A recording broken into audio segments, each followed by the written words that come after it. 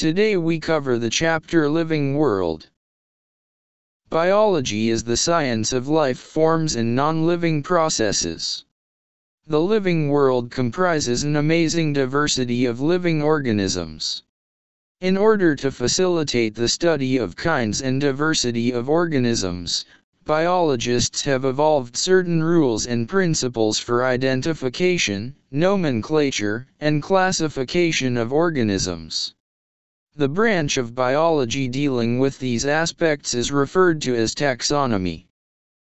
Life is a characteristic that distinguishes objects that have signaling and self-sustaining processes from those that do not, either because such functions have ceased, death, or else because they lack such functions and are classified as inanimate. Biology is the science concerned with the study of life.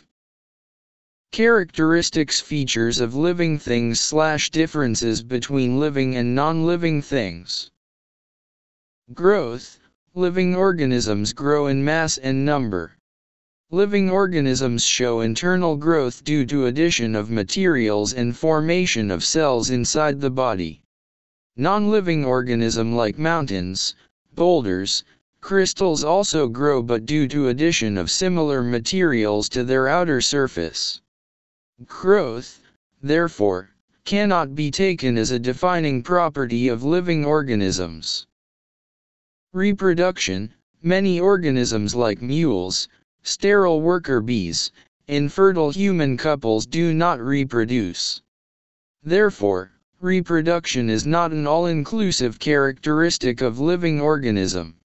However, no non-living object has the power to reproduce or replicate. Metabolism, the sum total of all types of chemical reactions occurring in an individual due to specific interactions amongst different types of molecules in the interior of cells is called metabolism. All activities of an organism including growth, movements, development, reproduction etc. are due to metabolism. There are two types of metabolism catabolism and anabolism.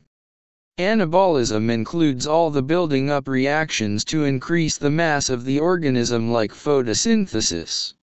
In catabolism breakdown reactions are involved, such as respiration, digestion etc. No non-living objects show metabolism.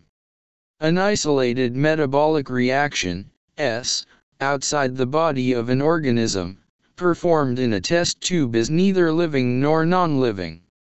Hence, while metabolism is a defining feature of all living organisms without exception, isolated metabolic reactions in vitro are not living things but surely living reactions. Hence, cellular organization of the body is the defining feature of life forms. Response to stimuli, it is the awareness of the surroundings and responding to external stimuli. External stimuli may be physical, chemical, or biological. Plants also responds to stimuli like light, water, gravitation, pollution etc. All living organisms prokaryotic to eukaryotic responds to different kinds of stimuli. Human being is only organism who is aware of himself. Consciousness therefore, becomes the defining property of living organisms. Biodiversity It is the variability among living organisms from all sources, including terrestrial, marine, and other aquatic ecosystems and the ecological complexes of which they are part. This includes diversity within species, between species, and of ecosystems. Range of organisms present on Earth, 1.7 to 1.8 million. Identification, comparing similarities and differences with already known ones. Nomenclature, naming of organisms. The names are unique and universal. Rules for nomenclature. ICBN, International Code for Botanical Nomenclature. ICZN, International Code for Zoological Nomenclature.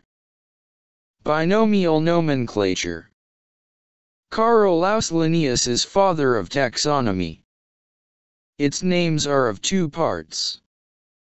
Generic name, genus. Specific epithet, species. Guidelines and principles for nomenclature. It should be in Latin slash derived from Latin. If it is written in italics when types and underlined when handwritten. It contains two parts, first word is genus, second word is species. Genus name starts with capital while species name starts with small letters. Name should be short, precise and easy to pronounce.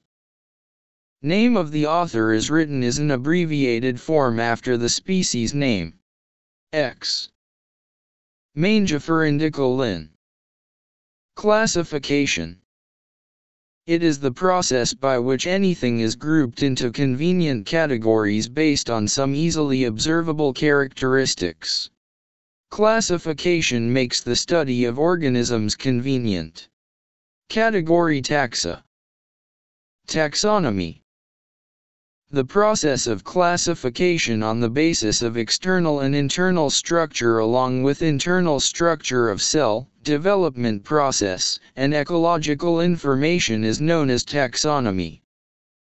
Systematics. Different kinds of organisms and their relationships. Linnaeus, Systema Naturae, Evolutionary relationships among organisms. Thank you. Please make sure to like the video and subscribe to our channel. We wish you the very best. Until next time, bye.